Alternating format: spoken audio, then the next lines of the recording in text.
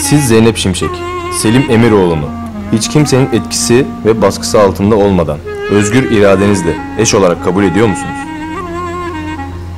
Evet, Siz Selim Emiroğlu, Zeynep Şimşek'i hiç kimsenin etkisi ve baskısı altında olmadan özgür iradenizle kendinize eş olarak kabul ediyor musunuz? Evet. Ben de bana verilen yetkiye dayanarak sizleri karı koca ilan ediyorum.